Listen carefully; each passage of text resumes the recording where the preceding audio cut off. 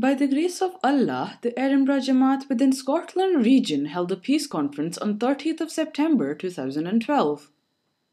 The conference was attended by 72 guests and 22 non-Muslim men and women. The conference was presided by respected Amir Sahib Scotland. The program started with the recitation of the Holy Quran followed by English translation. Following this, the president of Edinburgh Jamaat highlighted the importance of holding the peace conference. Then, the guests were shown a video clip of Hazur Ayadullah Ta'ala bin Nasrihul Aziz's address to the American Congress. The former president of Edinburgh Jamaat introduced the annual Peace Award and presented the names of former winners of this award. Member of Scottish Parliament addressed the audience in which he stated that different nations and cultures coexist within Scotland. And, as a citizen of a country of many nations, we should be tolerant of every religion and culture.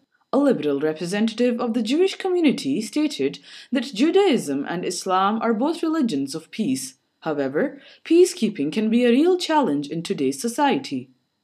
We should start by peacekeeping in our homes and then consider the ways in which to advocate peace in our society. As women, it is our duty to shape our future generations in a way that they understand the value of peace and the importance of righteousness. She ended by quoting references of books to prove that indeed every religion is an advocate of peace. The Christian representative from Church of Scotland added that Christianity has always advocated peace and Jesus salam guided us on how to maintain peace within our society. Amir Sahab said that Ahmadi Muslims believe in prophets Jesus and Moses.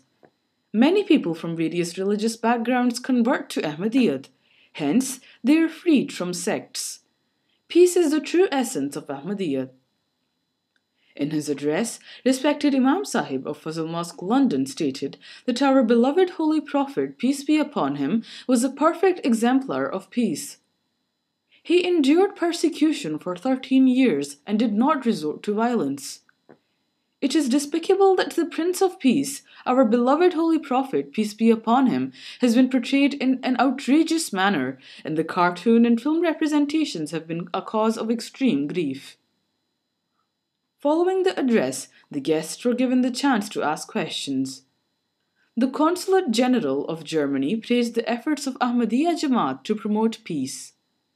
The peace conference ended with Imam Sahib leading the silent prayer, followed by dinner. This is Saida Bhatti, MTA UK, Glasgow Studios.